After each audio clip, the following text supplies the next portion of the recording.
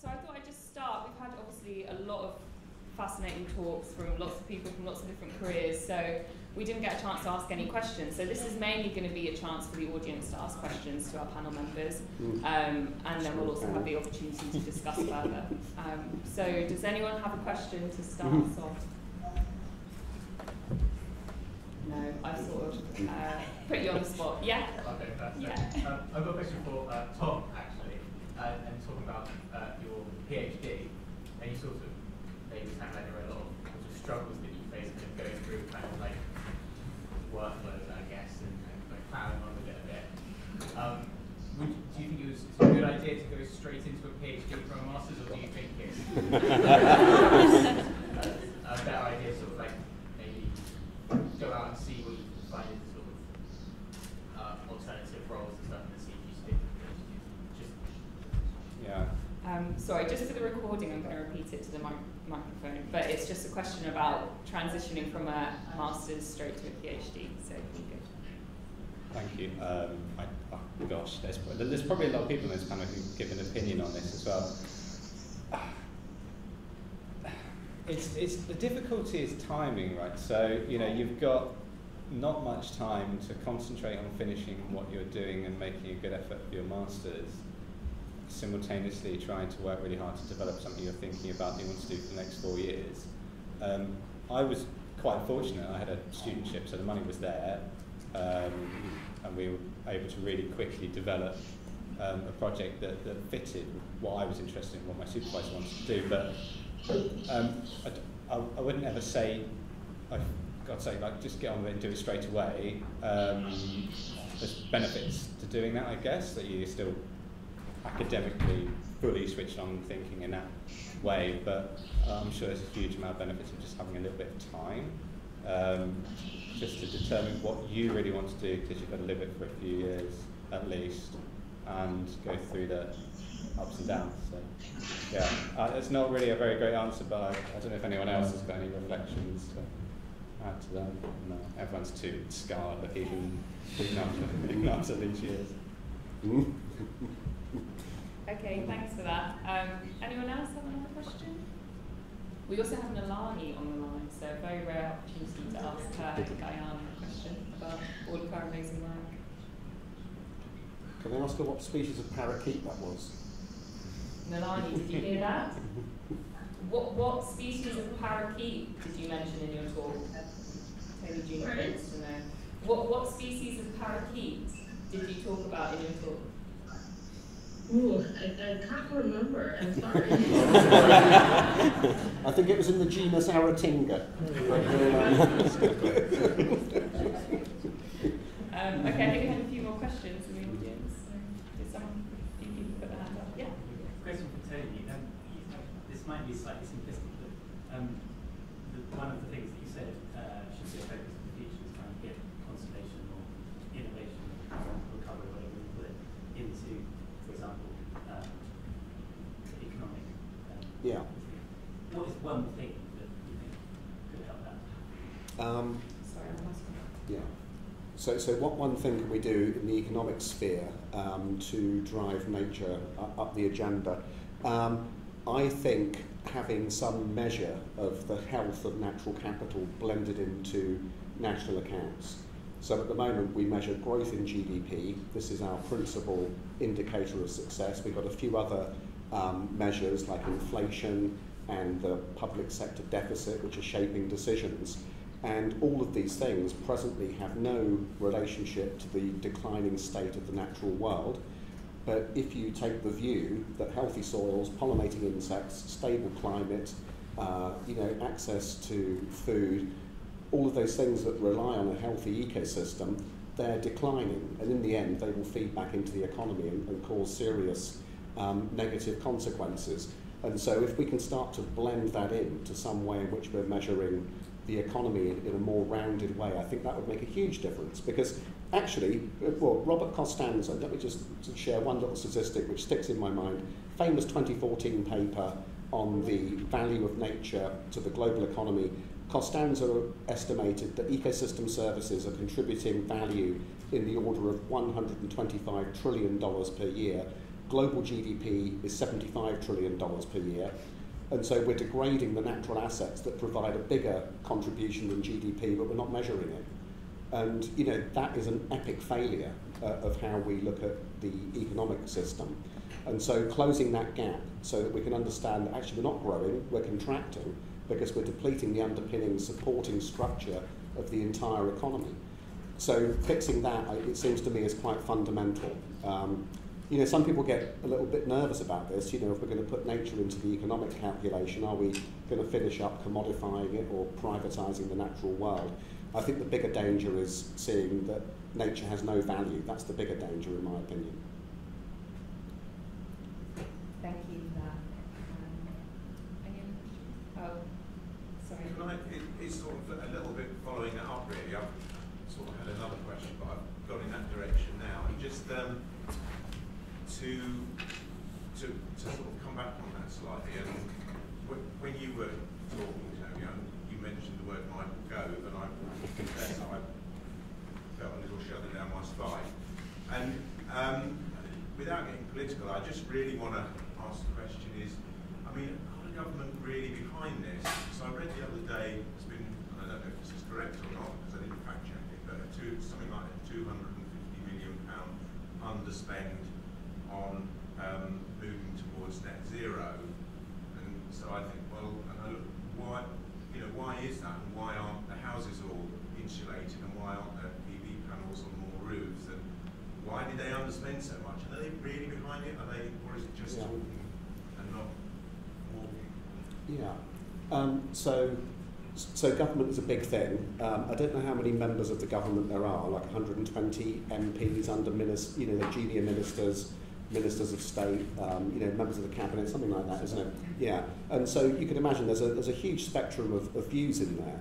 Um, but if you look at what has been happening over the last few years, uh, including the natural uh, environment, what they call it, 25-year plan uh, on, the, on the environment, um, the Environment Act we just had, uh, the net zero commitments, um, various uh, new tools coming through on biodiversity net gain, on the um, you know nature recovery agenda, which is currently a green paper. It's actually been quite an active period of improving policy and you know targets being set and everything else. And so if you look at it from the point of view of what's actually happening, alongside you know the commitments being made, which have been coming from the prime minister, which is quite unusual, then you would say actually that this is a period where the environment and, and nature has actually been um, something which, is in the ascendancy. Uh, so, you know, I, I think that's what I would say, and I, I've been an observer of these things for quite a long time, and would say that the moment we're in is actually quite a dynamic one with quite a lot of commitment behind it. Um, whether that's the entire government is a different matter, but I think you can see that there has been, you know, quite a lot of progress, and I think part of it is down to this narrative shift. I think there has been an understanding that if you don't fix climate change and don't start to repair the natural environment, it's going to have social and economic consequences. I think that piece has begun to bite. Um, you know, everyone takes their political view, you know. I mean, have a look at the other parties. I mean, you know, what are you seeing coming from Labour or the Lib Dems at the moment? Um, open question. Do you see more leadership there? Um, or, you know, is there potentially a rollback of some of these policies on the farming side, for example? You know, we're the first country in the world to shift farming subsidies from area payments and into nature recovery. We've been I've been talking about that for 30 years and it's actually happening now. Might it be the case that other parties would want to go the other direction? I don't know the answer to that. Um, but, you know, I just encourage everyone to keep an open mind about, about the political and policy space because surprising, surprising things can happen. Uh, nothing more surprising than my appointment. Thank you. And just a reminder that any speak would you any speakers feel free to jump in if you if you have uh, extra comments. Um, well, since you heard this afternoon how entwined Tony's career, my career have been, I think it's important I offer an alternative view here. Um, uh, really important to do that. He's also sort of partly in government, so he's got to say what he just said. Um, but uh, I would, where I would agree with Tony is I think there's been some really good thinking from government over the last few years on this. And yes, some of the thinking around public money for public goods in the transition for agriculture, so that where public money subsidies are being used, uh, now, rather than to pay farmers just to produce food, but to deliver public goods like nature recovery, that's good. Good thinking behind the 25-year environment plan, good thinking behind lots of things. Uh, where I see we're not seeing a delivery at the moment is in the implementation. You know, there's, uh, it's very easy for governments to come out with the thinking, uh, but we're not seeing the sleeves being rolled up and delivering on the ground at the moment in the way that I think we should, and that's a real problem. you know, we've got these clear targets to put nature and recovery by 2030 in this country and rebuild our natural infrastructure. If we were hosting the Olympics in 2030, we would have a very clear project plan with Gantt charts about how we're going to deliver this infrastructure. And if we miss some of the milestones along the way, uh, government would ramp up and take whatever steps are necessary to rebuild that, to build that infrastructure in time for the Olympics in 2030 we need exactly the same approach with uh, rebuilding our natural infrastructure in this country. We don't have that at the moment. We really have a bit of a crisis in seeing the kind of implementation on the ground that's needed. Also, we have the problem, as Tony said, yes, government's a big thing with lots of ministers, but we saw lots of policies coming out from government that are entirely incompatible with the good policies. So we might have all the good things that Tony was mentioning, but we also have government saying they want to get even more oil and gas out of the North Sea.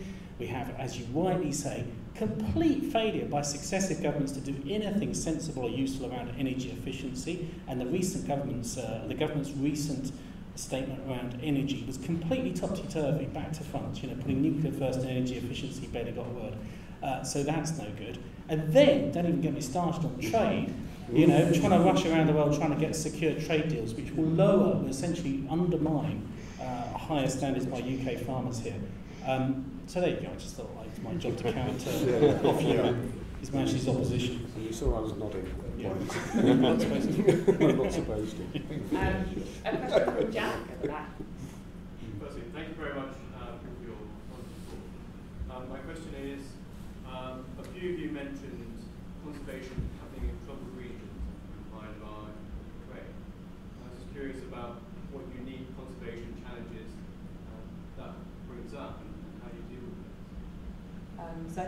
Related to conservation in times of conflict. So I don't know if anyone in particular wants to. Yeah. Thank you. Uh, yeah, well, it, it starts with war and conservation is not good. You start with that. Um, and, and actually, um, the thing that I've been experiencing trying to support our partner in Ukraine, um, half of whose staff have left, some have had to take up arms, is just the incredible solidarity amongst others. So within the horrors that are being inflicted by Russia on the Ukrainian people, I'm seeing our small community of nature conservationists in the border countries taking in refugees, completely readjusting their strategies, and thinking about how they're going to drop everything to help these people. So on the one hand, there's this incredible human to human solidarity, which is just extraordinary.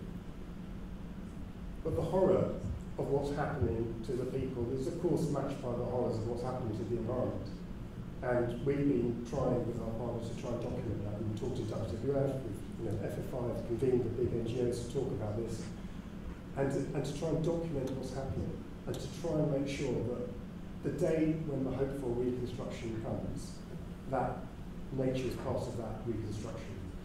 So I'm seeing solidarity amongst the BirdLife family, I'm seeing solidarity amongst the international conservation community, and hopefully we can have that with the development community as well. So um, out of the horror, hopefully something good will come. Uh, and sadly, there are 19 wars going on in this world at any one you know, now.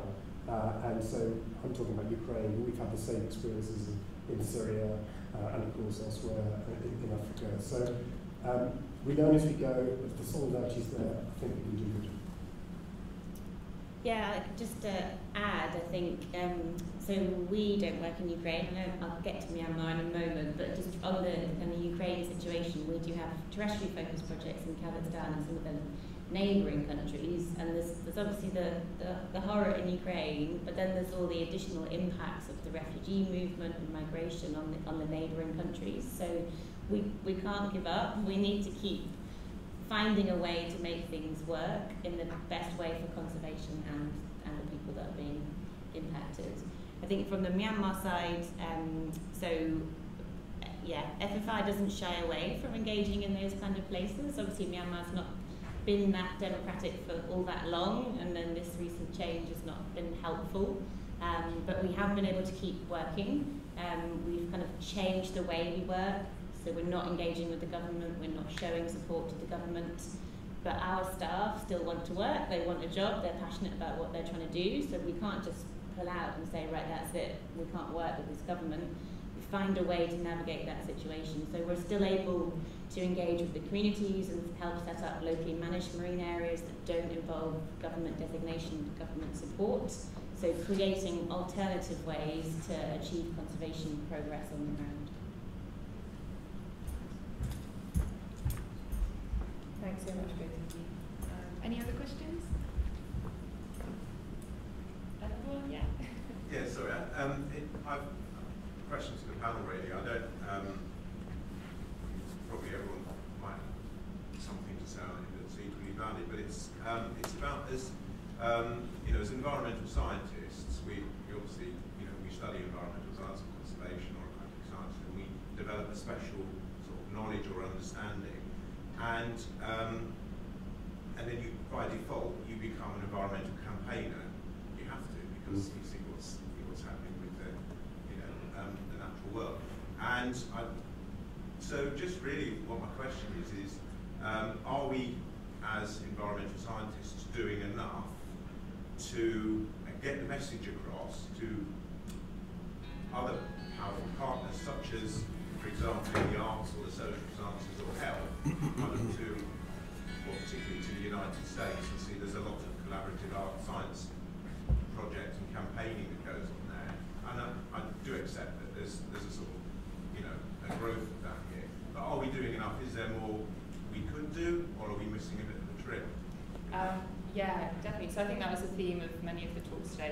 question of, as environmental scientists, are we doing enough to get the message outside of the environmental science world? but Um, so also to draw in and you know get those really powerful, especially I'm thinking of the arts on board to push the messages as hard as and what, yeah, what can we do to engage other disciplines to Yeah. help us push forward the message? So I don't know who, anyone wants to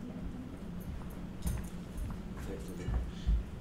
Yeah, hundred percent agree with you on that. That we need to bring in everyone because it, it, you know, it's part of everyone's lives. It's going to impact everyone when things go wrong with the climate, when things go wrong with biodiversity. Um, so the, the question is, are we doing enough? Probably not. I think there's a lot more we can do, but I wanted to sort of share that we are starting to do things, at least in my organisation. We have, um, for example, with our environmental education, we've taken a different trend of just saying, come on your biology field trip. We're now going to the schools and saying, let me teach you how to teach all of your subjects in the, using the school grounds and using nature. So how can you teach maths using nature? How can you teach English and art using nature?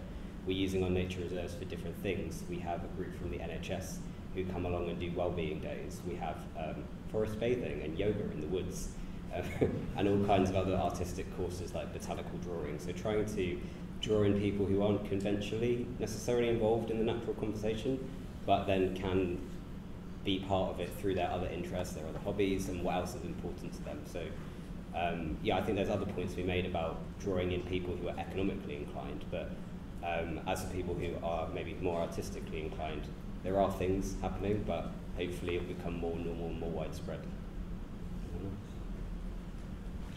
So just one, one little, just, just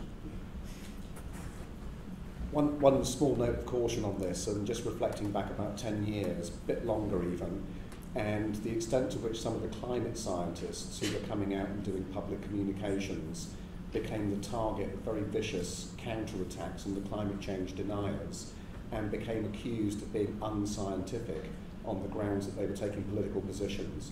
So this is not to say that scientists mustn't go out and, well, campaigning is maybe the word which um, needs differentiating from awareness raising and communications. Um, because in that space there is some peril, not always, but on the climate piece it got really nasty a few years ago, and some of the scientists who had raised their voices, um, they became the subject of attacks seeking to discredit them as being unscientific. So I just share that reflection from a little while back. Thank you both. Um, I think we only really have time for one more question. Um, so maybe from the back, take two together. Yeah.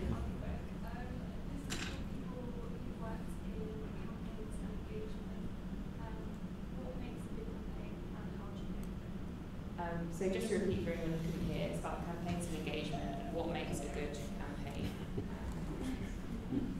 well, Craig and I'd love we should to ask. We should yeah. ask. We should ask. ask.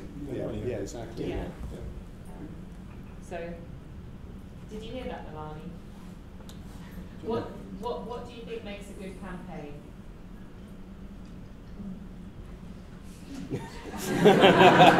Engagement, to build engagement with children. Um, but you've done a lot of campaigning yourself and kind of a lot of going off on your own passion, maybe? I think passion is definitely uh, a factor. Um, you also have to study your audience, and know exactly how to approach them. Um, so knowing the culture, um, and just you know other important factors about the audience, so that you could, I guess, so you can have a, a proper plan and your approach won't necessarily backfire. You get buy-in and support from people that you need it from. Um, so I do actually lecture on this, so I'll, I'll try and boil it down to 30 seconds. The dictionary definition of a campaign is a series of coordinated activities designed to achieve a single goal.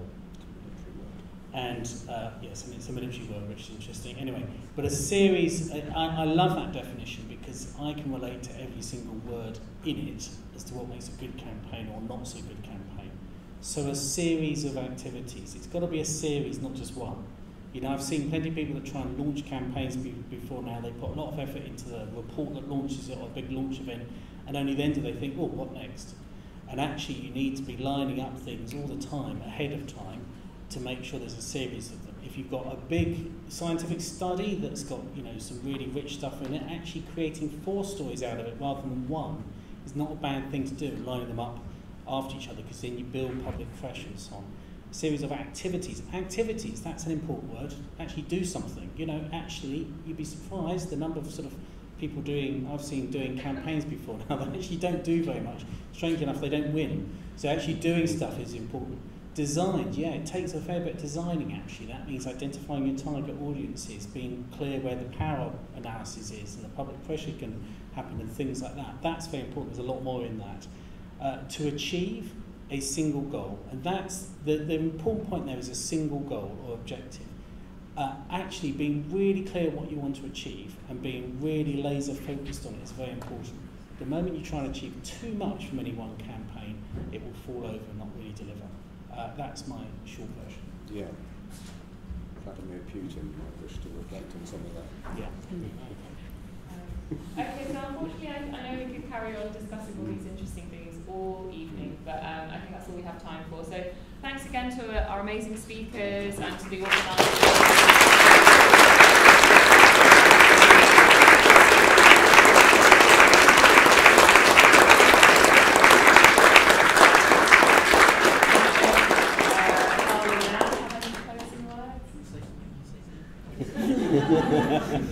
Uh, yeah, just um, a huge thank you really to everybody. It's been, it's been uh, I just can't tell you, I've been quite emotional watching this today. It's, um, whenever a student group comes in and then they leave, obviously I just don't want you all to leave. You know, it's, it's just so wonderful working with everyone. And we have some great fun on field trips. You think, oh, you can't leave. And then a new group comes in and I think, oh, they can't leave.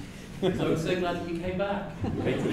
uh, hugely, hugely thank you to everyone for making this uh, happen.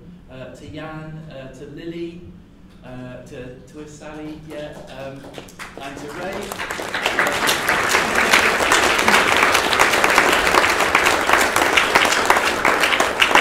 And uh, Richard, who you pedalling in the background. I just checked on earlier. He's been laying out um, endless bottles of wine and stuff, which is what we're going to go to now. So just an absolutely huge thanks for coming. Uh, um, the, the wine is served in the same place. Hope we can all see you there, and uh, let's do more of this in the future. And uh, yeah, thank you so much.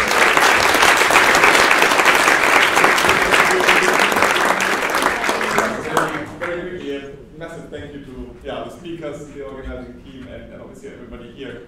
It's hugely inspirational to see what everybody is doing and all the really exciting projects and careers which, which have come out of the course. I mean, obviously we are kind of always seeing the start of these careers and we see all, all these amazing students coming through the institution.